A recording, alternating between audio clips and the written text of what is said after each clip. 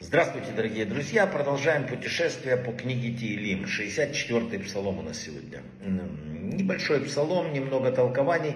Есть специфика, безусловно, и она связана с водой. Написано, что этот псалом в первую очередь э, как бы помогает тем, кто хочет пройти реку, пускается в морское путешествие и так далее. Вот в этом случае, э, чтобы как бы спасение было и не было проблем, читают этот псалом.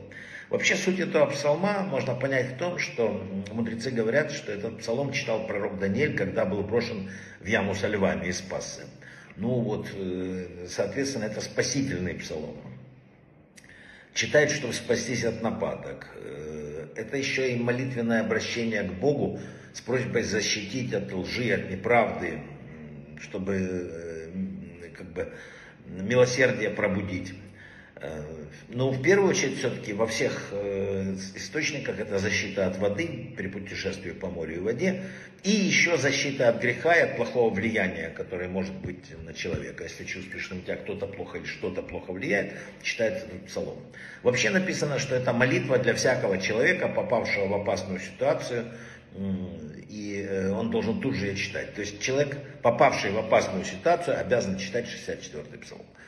Ну вот, пожалуй, пожалуй, все. Вархава от слаха.